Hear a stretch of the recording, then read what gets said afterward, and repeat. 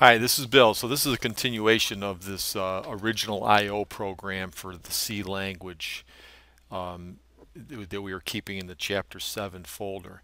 So at this point, uh, we want to uh, see that ICD is ready. So select Programmer ICD2, and it does connect to the ICD2, and everything's ready to go. So I can actually download the program to the device and release and when I look over at my PICDEM board the lights are flashing.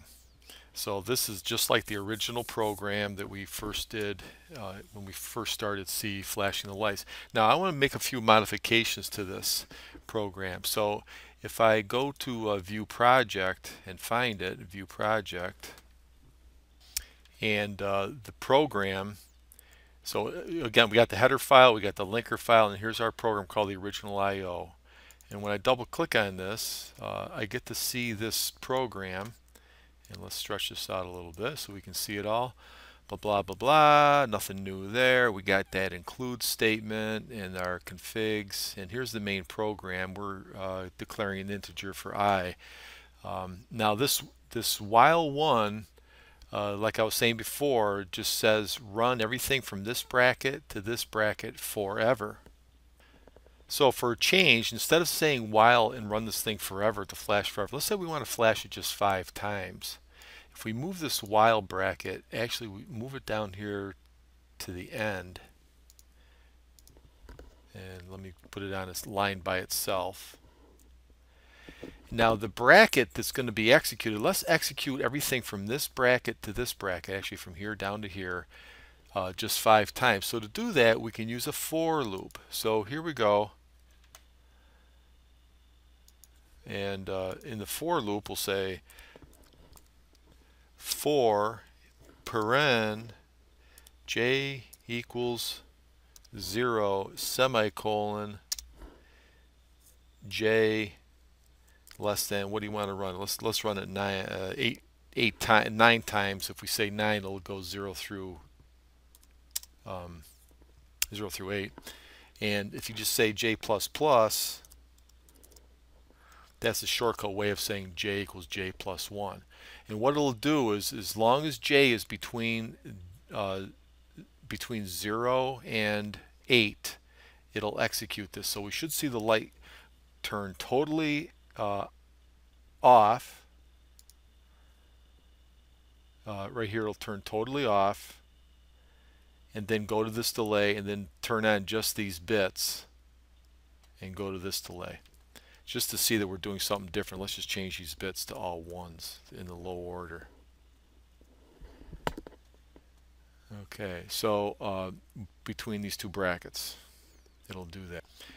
Now, since we're using J, we're using J, we have to declare it up above. So we want to say, uh, we'll make it an integer. And it just sets aside space for this, this value. We could have initialized it, but it gets initialized right here because it's starting at zero. Uh, so let's build this and see if we have any problems with this. Build failed. Let's see what this is all about. So if we double click on the error message, it points us to this bracket. Did I count the brackets wrong? Uh, void main. So here's the opening and closing brackets for main. And then we got, don't make sure we didn't leave out any uh, semicolons at the end of statement. So I've got these two here, I've got that one you don't need one here. Then we do a bracket to bracket. And uh, when you look at this last while statement here, look what I did. I left off the semicolon. Somehow that got eliminated. So let's try that again. It's good we find errors once in a while. Okay, build succeeded. So we're ready to uh, make sure we're ICD2. Yes, we are. We're ready to download this program. And we'll release from reset. And let's see how many times. One, two, three, four, five, six, seven, eight, nine. It, it flashed nine times. Excellent. So let's say we want to troubleshoot. Maybe things weren't counting right and we want to troubleshoot. We could actually monitor the J and the I and so on uh, in the debugger mode. So get rid of the programmer, say none, and debugger, select the, MP, the uh, sim. And if we view a watch window, when you look uh, after you did the build, it says, hey, you guys had an I and a J. So we could look at I and we could watch J, I and J. So uh, we can watch these as we uh, single step through this thing. Now we do have that delay in here, so let's comment out the delay. I'll just put a slash slash slash here, slash slash slash slash slash slash and it'll go around and we'll be able to watch J and um, uh, I as it as it floats around. So in this watch window, we'll be able to watch I and J. So um, if we go ahead and build project, make sure build successful. Yeah, okay. So now we uh, let's just hit reset. And back here, we uh, in the original program, if we if we run this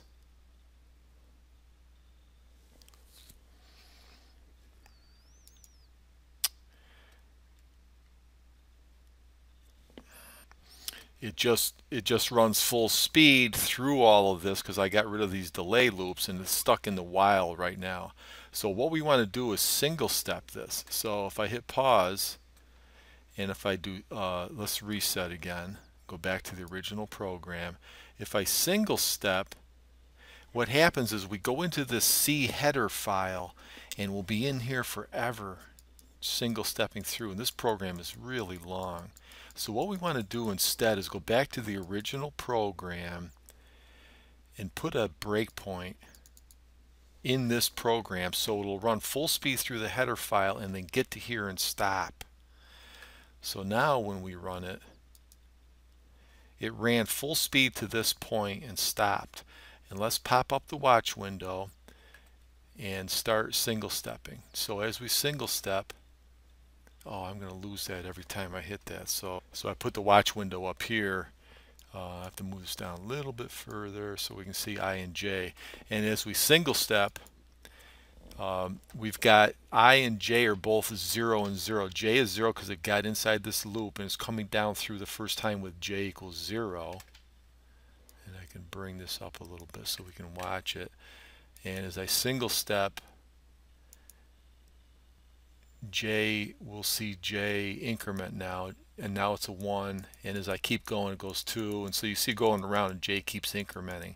I is not getting incremented because I commented that out with the slash slash. So what'll happen is I keep going around and when I hit when I get up to 8 right there when it comes up to here it says is it less than 9 and it's going to fail that and it finally drops right out of the loop and now it's down here in the while area and it'll just sit here forever as I click this and it sits in the while loop down here forever. So again the deal is when you're when you're going to single step and watch the watch window you're going to have to put a breakpoint in your main program so that it runs full speed to that point and then you can use the single step after that. So I'll get rid of this breakpoint and before we go anywhere I'm going to do a save as. And we had the original IO I don't want to mess that up so this is going to be um, the uh, whatever. Flash with a for loop. And don't forget to say .c or it won't use it as a .c. Okay so that that's the one with the for loop. Now let's try a while loop so a while loop would sit right here in the same place. And instead of saying uh, paren 1, we'll say while j is less than or equal to, oh, let's just say 14. And so everything from this bracket to this bracket will be executed as long as j is less than 14. Now we want to make sure that j starts out at zero. Otherwise, because it really wouldn't know, we have to uh, initialize it. j equals zero. We'll put it up there. So that's integer j, and j is initially set to zero. So it gets into this while. It'll start at zero. And we could do the watch window again on this one. And uh, so it'll count up. Now, somewhere inside this loop, now we're going to run this full speed. So let me get rid of these uh, slash slash here. So we'll still have this delay in here.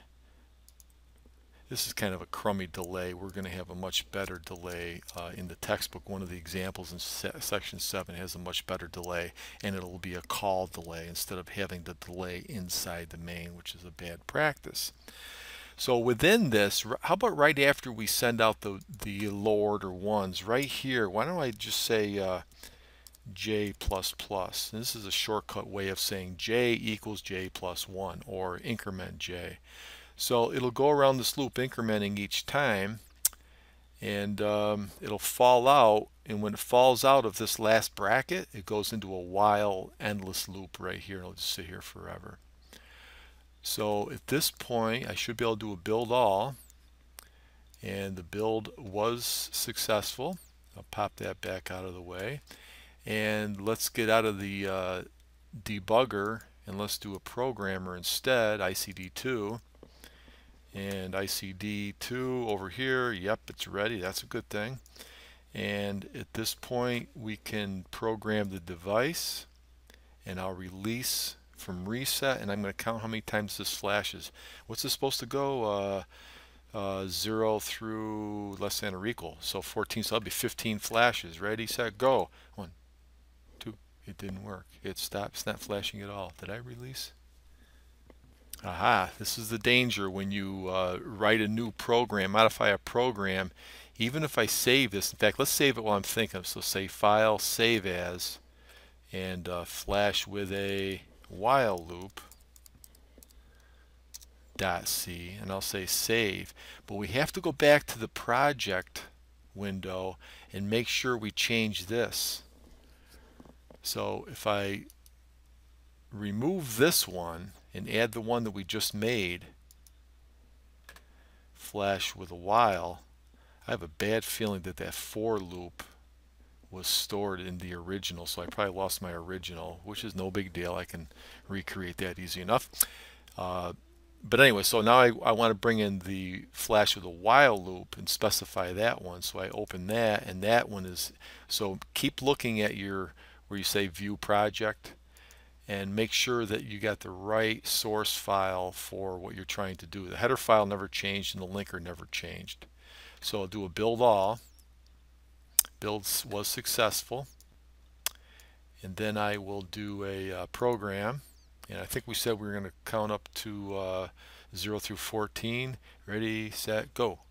1, 2, 3, 4, 5, 6, 7, 8, 9, 10, 11, 12, 13, 14, 15. 15 times. All right. Okay, so that worked. So as a quick review with the while, you just put it in the brackets here, and so it, everything from this bracket to this bracket gets executed as long as j is less than or equal to 14.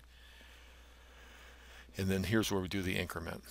Okay, and the last little tidbit I want to show you with this tutorial is uh, we can actually print our values out to the screen uh, using a printf statement. So I'll put this in, I'll show you how to do this. Uh, printf paren. Okay, so I type this in printf, uh, then in parens, the quotes that you want to send out. Now the backslash n is a carriage return. What that'll do is go to a new line on the screen before it prints the following, j equals. Now when it sees a percent sign d, that means print out the decimal value of anything outside of the quotes, and there's the J. So this value, whatever J happens to be, that'll go into this uh, uh, place qualifier called the uh, percent sign D, which is decimal. You can look up the, the printf in that tutorial, uh, that one we were using from the physics lab in Drexel, and you'll see all the different types. Uh, you can do characters and integers and float and decimal places and fixed and all sorts of other things you can do with that. Now to use the printf, we, we have to include the stdio header file.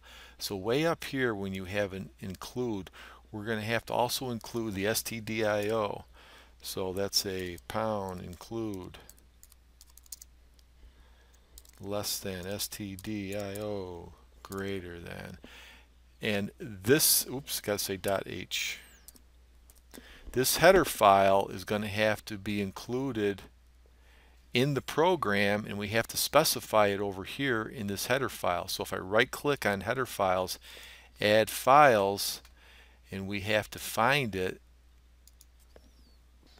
So that's uh, back on the C drive, the MCC 18, the header files are in here with the H. And there's a whole bunch, there's an ADC for analog conversion, delays, there's all sorts of programs that are already written by some engineer somewhere and they include all these and give these to us for free. STDIO is right here. So I included that file. So we've got this file. So what we have to do in order to see this is we have to specify the window. So we got to get out of the programmer mode, say none. But in debugger, uh, the, the MPLAB sim, not none, but MPLAB sim, which would be right here, okay, sim. Uh, if you go to settings under debugger, there's a UART IO, and UART with the Universal Asynchronous Receiver Transmitter. And what this is, is a simulation of a uh, computer monitor that would be hooked up to the PICDEM or some sort of a monitor or even an LCD that would be hooked up.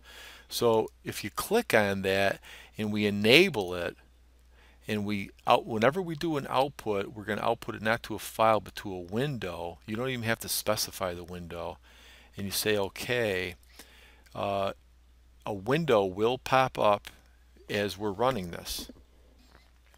So with the printf, uh, backslash n, that means go to a new line and uh, take the value in J and stick it into D.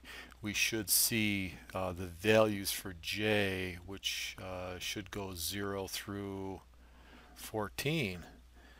And let's give it a shot. So if I do a build all, in the, in the output screen it showed everything worked. And in this output screen one of the tabs is the UART and that UART is going to pop up. If I hit reset and then I run full speed the UART pops up and it actually printed out my values 1 through 15 and let's take a look at that one more time. So right now it's still running because it's down in that while one at the tail end of the program. So I hit pause uh, reset now watch the output screen over here when I ready, set, go, and it counts up from 1 through 15. So you may ask why 1 through 15 because I start with j equals 0 but before the print just before it is my j plus plus so the 0 turns into a 1 before it gets printed. So I'm going to see 1 and then in the end when I hit 14 the 14 gets incremented to 15 so that's the reason. So with this newfound information, you should be able to take care of all of the exercises I'm assigning for Chapter 7. Have fun.